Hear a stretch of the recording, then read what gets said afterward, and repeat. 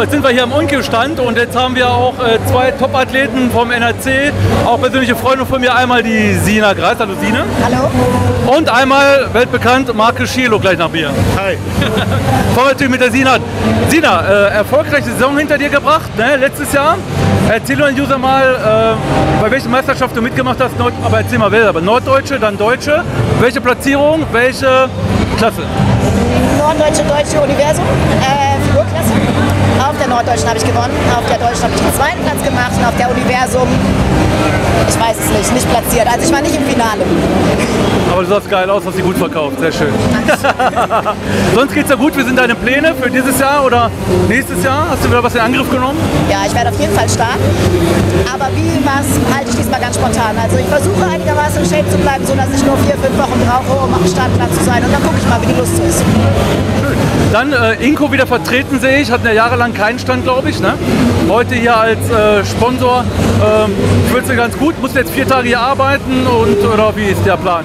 Auch für mich ist das ja keine Arbeit. Ich mache das tatsächlich gerne. Ich bin gerne hier. Ich freue mich dabei zu sein. Und ja, vier Tage Action. Spaß haben. Schön. Markus, du, äh, ja. Schade, schade, schade.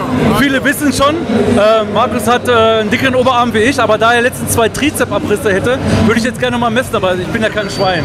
Äh, Markus, äh, du warst auf Vorbereitung, ganz klar voll auf Kurs gewesen, äh, aufgebaut auf wie viel? Auf 146 Kilo oder 144? 47. 100, 147 Kilo.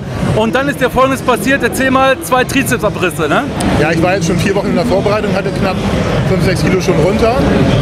Und ähm, ja, die Kraft war da. Ich habe auch nicht übertrieben im Training. Ich habe ganz normal ein Armtraining gemacht, vorher schon Bizeps. Dann war es die dritte oder vierte Übung für den Trizeps. Also schon warm gewesen. Auch da vernünftig aufgewärmt. Also nicht übertrieben mit, mit mehreren Sätzen. Und es war einfach Kraft da. Ich habe nur noch eine schwere Handel genommen, als ich selber umsetzen konnte. Das war vielleicht mein Verhängnis. Ja, aber bis muss man sagen, immer bis zur Endstufe, sage ich immer. Ne? Und dann, wo gehobelt wird, fallen Späne. Äh, so, dann haben sie operiert und jetzt geht's wieder. Bist du mit Training wieder angefangen, sagst du, und äh, hast du jetzt willst du wieder angreifen? Na gut, dieses Jahr ist der Drops gelutscht, ne? Ja, also ich, ich bin am Dienstagabend verletzt worden. Also das, Dienstagabend ist es passiert. Donnerstag lag ich schon auf dem Tisch und wurde operiert. Das Ganze ist jetzt ungefähr zehn Wochen her. Ich habe jetzt ungefähr drei Wochen diese Gipsschienen los.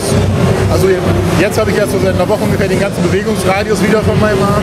Du warst auf Toilette? Nein, Scherz. Brauchst nicht Also ich konnte mir den Arsch abwischen. das ist die Frage. Das Okay. ging von der ersten Sekunde. So, die Frage, die die meisten gestellt haben. scheiße.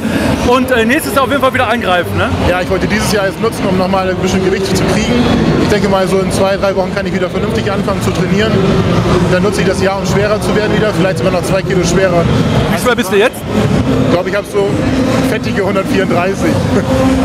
Fette 134, ja, ja, okay. T-Shirt lasse ich bei unten, aber äh, jeder weiß, wie du auf der Bühne aussiehst. Also Topform, was letztes Jahr Universum gewesen, äh, überragend gewonnen, deutscher Meister, norddeutscher Meister, Durchmarsch gemacht, äh, war so super Leistung. Von daher, äh, deine Kür, wo ich immer noch sage, geil, die war echt Weltklasse. Also für mich Mr. Kür. Und äh, ja, ich wünsche dir erstmal viel Spaß, danke fürs Interview und äh, ja, und dann alles Gute für die Zukunft und dann sehen wir uns vielleicht die Tage nochmal und dann spätestens wir dieses Jahr noch auf der Bühne. Ja, Sina und ich spätestens nächstes Jahr. Nächstes Jahr früher. Nächstes Jahr im Frühjahr. Okay, vielen Dank. Macht's gut, ihr Lieben. Ne? Ciao, ciao.